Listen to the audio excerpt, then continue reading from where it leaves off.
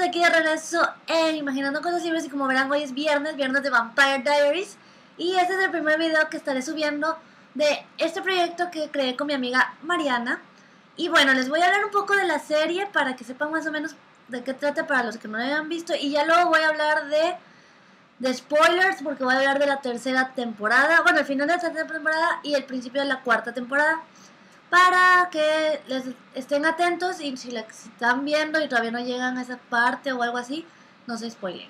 Pero bueno, la serie nos habla de Stefan y Damon Salvatore, que son hermanos que son vampiros.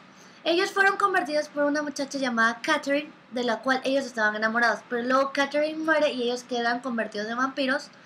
Pero Damon la le jura una guerra eterna a Stefan por el hecho de que los dos se habían enamorado y entonces como que le agarra un odio. Entonces, ahí ya eso fue en el pasado y en el presente, Stefan conoce a Elena Gilbert. Ella es como que la reencarnación de Catherine porque son igualitas. Entonces, regresa a Mixed Falls como muy intrigado por ella, porque quiere saber qué onda, por qué se parecen y así. Y ya poco a poco se va creando esta historia y luego aparece Damon que le dice que él le juró leal una eternidad de odio y de problemas y así. Y ya es así como empieza la historia. Les voy a dejar el link del promo de la serie que dura como 5 minutos, pero la verdad está muy padre. Para que se den una idea mejor de qué trata la serie. Y estos libros fueron. Estos libros. Uh. No, esta serie fue basada en estos libros de que se llama Crónicas Vampíricas o Vampire Diaries en inglés. Está creado por Ella J. Smith son siete libros hasta ahora. Y pues la verdad están muy buenos. La verdad a mí me gustó del 1 al 4. Pero los demás están pasables. Y bueno, ahora sí ya, esta es la sección de spoilers para los que no quieran ver esta parte. Nos vemos a la próxima y que regresen a discutir conmigo qué les pareció esta serie. Bueno, este episodio. Y pues sí, pues sí, vamos a hablar de la del final de la tercera temporada. Creo que Elena estaba a punto de convertirse en vampiro. Se los juro que yo en el momento que estaba ella con Matt cayendo hacia el abismo del río y ella empezaba a recordar lo que había pasado con sus papás, yo estaba hecho un mar de lágrimas porque no fue así como que, ay, sí, la salvé y punto. No, sino que veías cómo Estefan llegó a salvarla a ella, pero quiso salvar primero a su papá y que su papá le dijo a Elena, le dijo a Stefan que la salvara a ella y justo antes de que pasara eso, el papá miró a Elena y Elena lo miró a él y se quedaron así como que vamos a morir y punto. Y él así de resignado y ella se queda así toda... Mm". Y en eso llega Stefan y la salva y yo estaba hecho un mar de lágrimas por eso. El hecho también de que Caroline y Tyler pareciera que se va a morir Tyler y de pronto descubres, creo que en la cuarta, ya no me acuerdo si bien, porque ya voy como en el episodio 17. Pero así que descubren que no, que Tyler no es Tyler, sino que es Klaus. Yo estaba así, ¿qué pedo con este vato? Maldita sea, y así.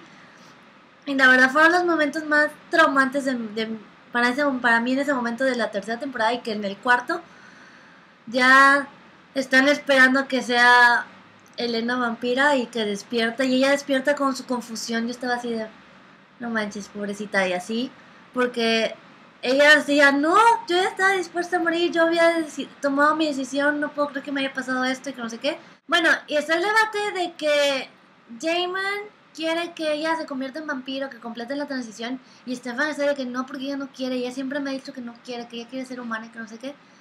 Pero pues llega un momento que a Elena la atrapan y yo estaba así, no, la atraparon, se va a morir porque la atrapa el malito sacerdote o pastor, como sea con su idea loca de que va a proteger el pueblo.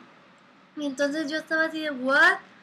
Pero sí, y entonces en el momento que están en la, en la sala, bueno, en la, en la granja que lo tienen atrapado a Stefan, a, a Rebeca y a Elena, yo estaba así, no, porque el pinche es Rebeca estaba así de, ay, no sé qué se quejan ustedes y su amor, no sé qué, bla, bla, bla. Pero en el momento que ella los ve, que están así tan sufriendo el uno por el otro, porque Stefan re, le ve, está con desesperado por salvarla y Elena se está muriendo justo al lado de él. Él no la puede ver, pero está ahí así como que, Stefan, no sé qué. Y justo hace el momento, el, el momento clima cuando le dice que la, lo ama y ella lo ama a él. Y yo así de, no, no te puedes morir, pero gracias al cielo, Rebeca llegó a la salvación y logró ayudarla a que ella se alimentara. Y pues Bonnie, que estaba tratando de volverla humana con sus poderes, se queda traumada porque los espíritus se vuelven contra ella y ella se queda así de un... No, maté a mi abuela, la lastimé y así, queda muy random todo. Pero pues eso fue como que lo que pasó en ese episodio. Yo me quedé muy traumada y de que quería ver el siguiente y así. Y han ido mejorando, la verdad.